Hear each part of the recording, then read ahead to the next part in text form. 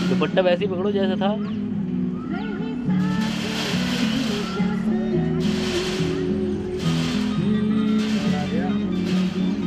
आने तो कुछ उठाना कट, यहीं रुको। ले ले